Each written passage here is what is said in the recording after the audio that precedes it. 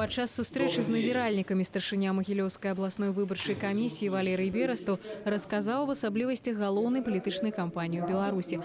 Адна з іх гэта стварэнне абласных выбарчых камісій. Гэта дазваляе цэнтр выбаркаму хутчэй апрацоўваць інфармацыю з рэгіёнаў падчас галасавання, а інфармацыі будзе шмат.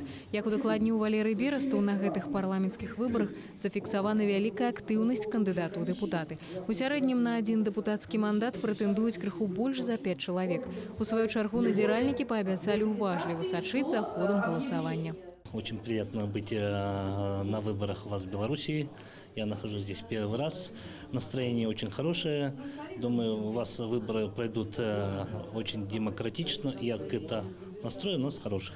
все будут работать э, в соответствии с законодательством э, Республики Беларусь. И если вы задали вопрос, на что обращать внимание, это на исполнение избирательного э, кодекса Республики Беларусь. 11 верасня назіральнікі будуць працаваць ва ўсіх 13 акругах рэгіёну. У кожнай з іх дэлегаты адмісіі СНД наведаюць па 5 участкаў. Седа Каспарова, Андрей Шуляк, Миколай Соболев. Навіны рэгіён.